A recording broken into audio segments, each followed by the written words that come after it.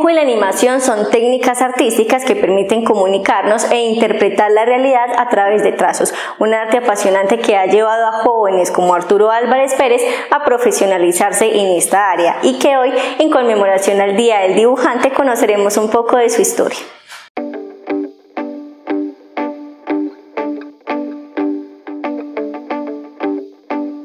Hola, mi nombre es Arturo Álvarez, soy estudiante de último semestre de Ingeniería en Diseño y Entretenimiento Digital y desde pequeño siempre me ha gustado dibujar. El dibujo es un arte que conecta, comunica y crea. Este ha acompañado a la humanidad desde sus inicios y a través del tiempo ha desarrollado técnicas, estilos y nuevas maneras de comunicar a través de los trazos. Y es en este vasto mundo artístico donde encontramos a Arturo Álvarez Pérez, quien es un joven que trazo a trazo ha encontrado en la ilustración y más propiamente en la animación una forma de comunicar ideas y transmitirlas de diferentes maneras. Bueno, desde muy pequeño me sentí muy atraído a contar historias a través del papel, bien sea a través de escritos o a través del dibujo. Mis primeros acercamientos al mundo del dibujo fueron de una forma muy didáctica. Me acuerdo que siempre en las tardes salía con mi hermano a dibujar y contábamos historias con personajes que nosotros mismos inventábamos y creábamos nuestros propios universos narrativos a partir de esto. También en mis clases del colegio o incluso en la universidad solía dibujar mucho en, mis cuadernos como una forma de darle mi propia interpretación a lo que veíamos en las clases o para expresarme. Y es que para Arturo dibujar ha sido una pasión que ha trascendido de los trazos en el papel y con su formación profesional este ingeniero ha logrado darle vida a sus personajes a través de la animación.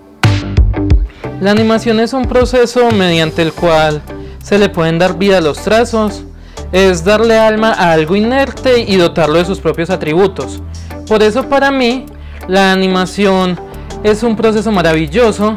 en el cual se le pueden dotar a todas las creaciones de una personalidad única que no se logra transmitir del mismo modo que se transmite en una ilustración, ya que la animación combina elementos acústicos y visuales que permiten crear experiencias significativas y momentos inolvidables que se quedan en el corazón y la memoria de todo aquel que los disfruta. Es por eso que el dibujo me parece tan importante, ya que es una de las primeras formas de expresión que tenemos todos los seres humanos. Desde pequeños comenzamos a dibujar, hacemos garabatos y de esa manera nos entienden y podemos comunicar un poco de nuestros propios pensamientos. Y entre, entre todo esto, el dibujo también se, se construye como un lenguaje visual que transmite distintas características dependiendo del estilo que se maneje. El mundo de la ilustración está compuesto por diversos estilos y técnicas donde cada elemento tiene un porqué y donde el estilo cambia dependiendo de las necesidades del medio o a modo más personal dependiendo de los sentimientos del ilustrador. Bueno, la verdad es que yo considero que mi estilo de dibujo es un estilo dinámico que ha evolucionado conforme he evolucionado yo mismo a partir de mi crecimiento personal. Creo que mi estilo de dibujo no se limita únicamente a si es cartoon, a si es un estilo realista, sino que parte desde mi esencia y eso es lo que busca transmitir.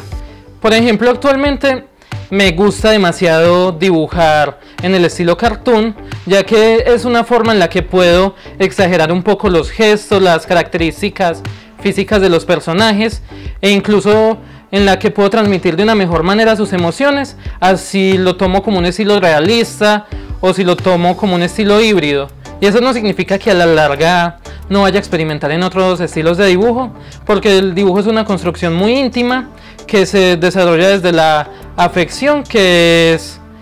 básicamente todas las emociones que tenemos y que son muy cambiantes como el ser humano. Arturo es consciente que aún hay mucho camino por recorrer en el mundo artístico, aún así invita a todos a ser fieles a su pasión y a seguir sus sueños. Bueno, el mayor consejo que yo les puedo dar es que dibujen siempre que puedan, no importa el formato o el lugar en el que lo hagan, puede ser en un cuaderno, en una hoja de blog o en una servilleta, pero que siempre se mantengan dibujando, que busquen ilustradores o técnicas que los apasionen y que traten de seguirlos y aprender de estos. Pero creo que ante todo lo más importante es que valoren su arte como una creación única y que es una extensión de su propio ser y de sus propios pensamientos.